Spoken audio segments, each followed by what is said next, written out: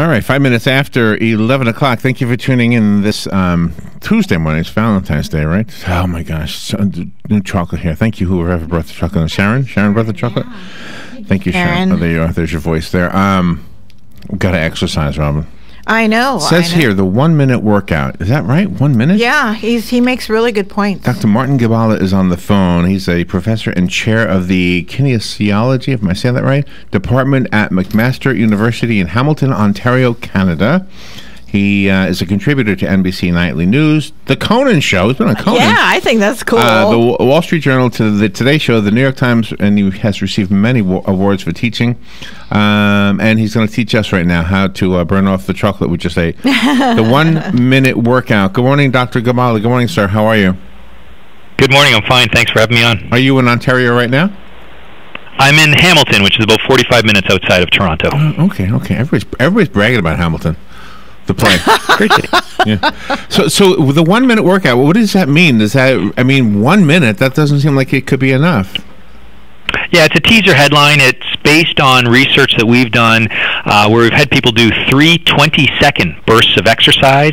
That's set within uh, a little bit of recovery. So, start to finish, our shortest protocol is 10 minutes. Uh, but within that, it's only one minute of very vigorous exercise. And it's really based on a line of research that we've been conducting on interval exercise training and looking at how time efficient workouts can provide a lot of the benefits that we associate with a more traditional approach. And, and do you have uh, okay? we- I know it's a short interview here, but can you? Okay, maybe you can tell us some results. What, have you worked with somebody that has used this technique and, and made a difference in their? What is it? What is it? In, it doesn't help you lose weight, or does it? Uh, so intervals can clearly be a, a time efficient way to burn calories as well, but obviously it's much easier to control the energy inside. So not having as many of those Valentine's chocolates are, are going to help there. Yeah. Uh, really, the book is about uh, exercise for fitness. You know, a lot of people think you exercise to lose weight, and that's what confers the health benefits. You know, if there's a key message that's no, there's that direct line between exercise cardiovascular fitness regardless of the number on the scale and so the book is really about time effective approaches to try and achieve that. And the heart is so super important because if a person is overweight but not in shape, the heart is still going to work really, really hard. So you might as well have it work hard while you're doing the right things than the wrong things. Absolutely, you know, and there's good research to show that people who are overweight and obese, if their fitness is the same as a normal weight person, their relative risk profile looks pretty good. So the risk of dying from all causes is actually quite similar. So it really speaks to this need that we have to worry about the fitness side of things, not just the diet side. And regardless, again, of that number on the scale or body size, body composition, cardiovascular fitness is really, really important. You know, there's been a recent call that it should be a vital sign, something that we measure, just like body weight or blood sugar uh, or blood pressure. And uh, oh, I'm sorry. Go No, ahead. no. I was just gonna say we have a copy of the book here, and I was I was looking through it, and uh, it's interesting that some of the exercises you talk about are actually ones we already know. I, I guess I wanted to say that. I don't. We don't have to learn a whole lot of new stuff. In other words. No, so you know what we've learned about interval exercise training is number one, it's not only for elite athletes. People think that it's only this all-out, as hard as you can go type exercise. Clearly, that's a very effective approach, but it's not for everyone. There's many different flavors of interval training, and so the workouts that we provide in the book, they're just some examples, but they're all based on scientific studies, and it's really an approach. There's no single best interval exercise. You don't only have to do it on a bike. There's lots of different ways you can do this. You don't have to go to a gym. There's ways to do body body weight style intervals. So you're right. In some respects, everything old is new again. But I think what we've learned is just how little exercise you can do and still reap benefits. Obviously, the more the better. People should be following the public health guidelines. But the main reason that they tell us why they're not is lack of time. So let's give Ah. them some other menu choices that are based on good science. Uh, how did you uh, gather the scientific data that was needed for this? Did you have different We- people doing different things? Yeah.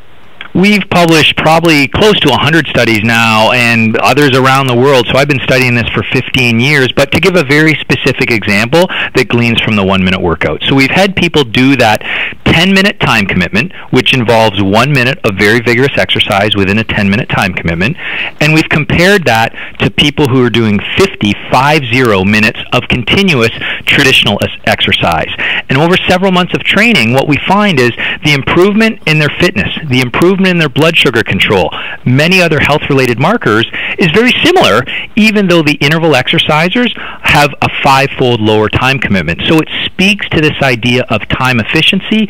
We like to say that intervals provide a better way or a better strategy to fit exercise and activity within your day rather than having to structure your day and your life around exercise. Now, years ago, there was a, a, a, school of thought, and I don't know if, I don't know if we still subscribe to this school of thought, but it said that you have to raise your heart rate and keep it at that level for an extended period of time. I'm thinking 10 minutes was less than what they had told us way, way back when, when we probably did an interview maybe 10 years ago already. But uh, is, is there still truth that? Keep the heart rate going for a while? Yeah, absolutely. You know, and again, I want to stress here the public health guidelines are based on great science, and generally they're recommending 150 minutes of exercise per week in minimum doses of 10 minutes or so. Again, that's very good evidence or very good uh, recommendations, but people are telling us they would like some other options because if people tend to don't have that one hour in their day or 45 minutes, they tend to blow off exercise. And really, a message is these short and more vigorous workouts can be very effective. And so, for example, in that one minute workout that I was talking about, average heart rate is around 80% or 85% over the 10 minutes because heart rate stays up in recovery because the preceding exercise is quite vigorous. And your book is also an inspiration to physical therapists because they have to see people who are immobile and try to help them uh, ob- obtain that mobility again. And this is perfect for them. There's many different approaches and strategies. So if there are joint mobility issues, for example, you know, swimming, uh, rowing, there's different type, almost any type of traditional cardio exercise that we think of can be applied in an interval manner. So it can be varied up and altered to suit starting fitness levels and various levels of ability. If we do, if we do start out with this and we go for 10 minutes, what do you recommend? Should we do it first thing in the morning? Should we do it at lunchtime? And I'm, I'm guessing some people do this and then they do it more than once a day, right? Yeah, so a couple thoughts on that. One is do exercise when you like it. You know, I can sit here till I'm blue in the face and say, you know, if you exercise in the morning after an overnight fast and you don't eat breakfast, you might burn a few more calories from fat. But if that doesn't resonate with you, it doesn't really matter. So, number one approach yeah. is do the exercise, fit it into your life that works for you. But this idea of exercise snacking, there's something to that. So, more frequent, shorter bouts of activity through the day, which are a lot easier to work into our life, there's evidence to show it's more beneficial than a single period of exercise uh, for an extended duration. Well, you are referred to as the worldwide guru of the science of uh, uh, uh time. Uh, time uh, efficiency workouts. Did you used to not like to work out in the beginning and then you needed to learn how to do that for your own health? No, and certainly there's lots of other experts doing some good stuff on this. I was uh, when I, I I've always exercised, but ironically, early in my career, I was a young, busy professor. I have a working wife, two young kids. Ironically, for an exercise physiologist, I find myself having very little time to work out. And I was teaching a course at the time. I still teach it to this day that looks at the physiology of human performance. And my students are always interested in the training regimes of elite athletes. And one of the characteristics of their training was intervals. And so I thought thought, wait a minute, here you're teaching this stuff. Maybe you yeah. know you might want to try this on your own. And so it's you know it's one of those. It's I train a lot using intervals. I still like to go for a walk in the woods with my dog, but for training, much of it is interval based, and it's really been the focus of our research for the last um, well well over a decade now. Wow, so a good wow. strategy if you want to uh, try to get a little bit more fit and uh, get exercise um, factored into your lifestyle, your day. Uh, call me if you want the book that was sent to us. It's called The One Minute Workout. It's written by Dr. Martin Gibala on the phone right now, and uh, you can have the copy that was sent to us. The rest of us will have to go buy it. Do you have a, a website you can recommend? Uh, yeah, you can get it from booksellers everywhere. It's published by Avery, which is an imprint of Penguin, or you can follow me on Twitter at Gibala M. Okay. Uh, Dr. Martin Gibala, thank you so much for being on the air with us. Have a great, uh, what is today? Valentine's, Valentine's Day. Day. I always want to say Thanksgiving. thank, thank you, Doctor. You too. I appreciate the opportunity to be on. All right. We will be right back. Back.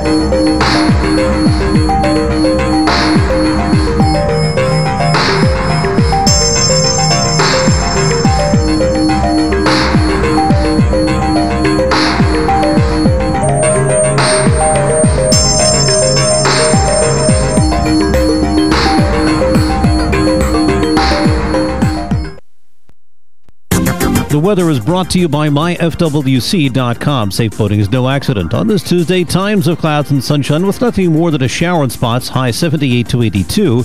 Partly to mostly cloudy Tuesday night, low 57 to 61. For Wednesday, variable cloudiness and becoming windy with a shower or heavy thunderstorm around in the afternoon, the high 78 to 82. Thursday will be partly sunny and not as warm but pleasant with low humidity, high 68 to 72. From the Florida Weather Center, I'm meteorologist Joe Lundberg. Next Generation MD is the future of healthcare now. Listen in the first and third Thursday at 10 a.m. to learn how the future in PRP treatments are here in our area. Find out the many ways that Dr. Juan Jordan, MD, Charles Brooks, NP, and case manager Mark Shaw have brought the family medicine practice to a new level. Hear from the very people that benefit from the fine work they have done in this field. Next Generation MD every first and third Thursday at 10 a.m. here on WOCA 96.3 FM, 1370 AM, The Source.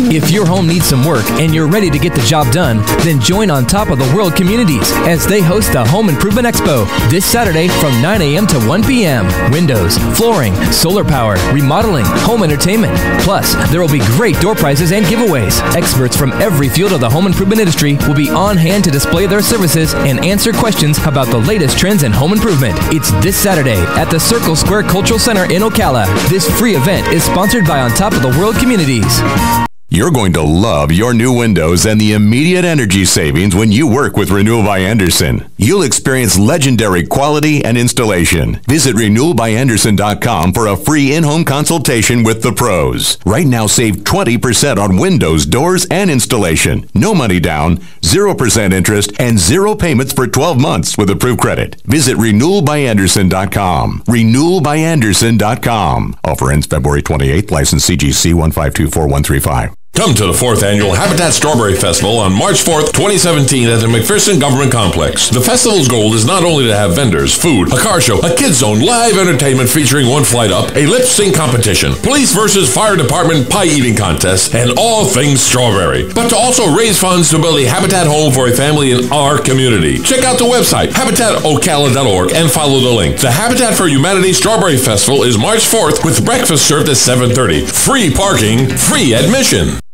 Coming this and every second Friday of the month at 11 a.m. is Trinity Healthcare Medical Center with your host, Dr. David Kuhn. Trinity Healthcare Medical Center is Ocala's only progressive primary care clinic. Be sure to listen in and also check their website at thcmc.com. Then call them with your questions at 512-0000. That's 512-0000. That's every second Friday at 11 a.m. for Trinity Healthcare Medical Center here on The Source WOCA. Here is a 30 second news brief from the source WOCA. Female workers at Coleman Federal Correctional Complex who say they were sexually harassed by prisoners have reached a settlement that could amount to $20 million. The man accused of killing five people at Fort Lauderdale Hollywood International Airport lied about his criminal record on his application to be a security guard in Alaska. And tomorrow's Powerball jackpot is now at $310 million. And that is your 30 second news brief from the source WOCA. You deserve a little getaway, so WOCA and Red Roof Inn are going to give you one. Throughout the month of February, tune in to AM Ocala Live, especially at 50 minutes past the hour. Why 50 minutes past the hour? Because Red Roof Inn now has over 50 Red Roof Inn Plus locations with new upgrades and amenities to make your stay great. And we're giving some lucky listeners a free night stay at any Red Roof Inn around the country. All you have to do is listen for Larry and Robin to tell you to call. So tune in and win from WOCA and Red Roof Inn. Whether you're just starting out in your career or ready to make a change, being a commercial pilot is within your reach. The FAA has predicted that in the next few years, the number of planes in the sky will double, and that means a lot more jobs in aviation. Ocala Aviation has teamed up with an accredited university, enabling you to get a college degree in aviation while training to be a commercial pilot. And with options like financial aid, grants, and scholarships, it's never been a better time to get your new career in aviation started today. For more information, call me at Ocala Aviation 352 861 7484. Coming this and every second Friday of the month.